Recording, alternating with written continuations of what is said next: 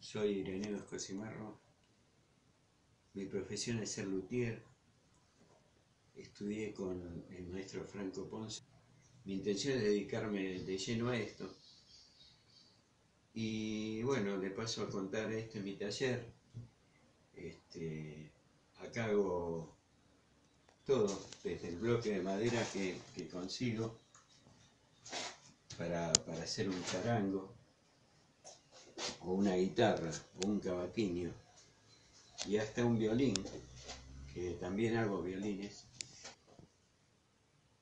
Mi intención es hacer una fábrica en donde mis instrumentos, con mi marca, salgan al mercado y puedan competir con las mejores marcas.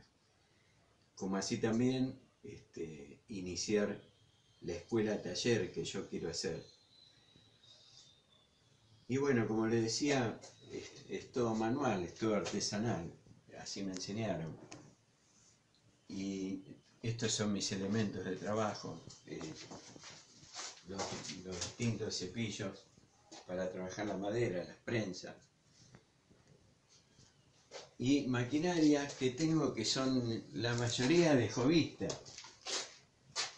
Una caladora que es una agujereadora de banco. Esto es lo más este, grande que tengo.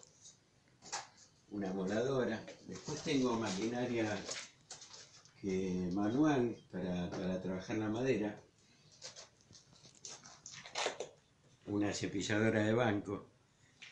Pero no puedo trabajar estos, estos troncos, digamos, utilizar la madera sin que se produzca desperdicio desde el tronco.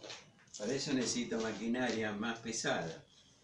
Este, y obviamente esta madera no son las totalmente las indicadas para instrumentos. Esta es una madera de abeto y esto es cedro. Pero ¿qué pasa? Para hacer un violín yo necesito madera de mejor calidad para que llegue al mercado con un buen producto. Para eso necesito la ayuda, ¿no? Para comprar maquinaria, este, producir desde el tronco, o sea, abaratando costos y